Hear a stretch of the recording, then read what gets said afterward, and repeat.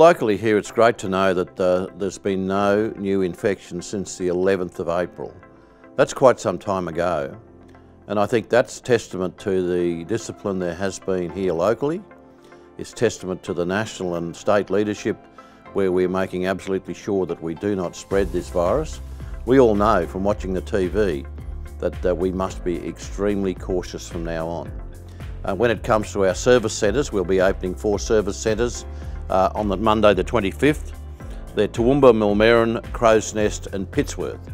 And people will be able to enter those places without appointments, but of course honouring social distancing and making sure that they're well disciplined in that regard.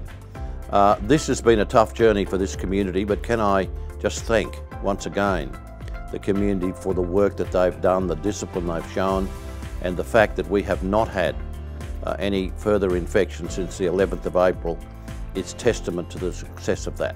It's a great privilege to announce that our libraries will be opening starting Monday the 25th. I must stress this is a reduced capacity opening and different libraries will open at different times. So Toowoomba City, for example, won't open until the Tuesday.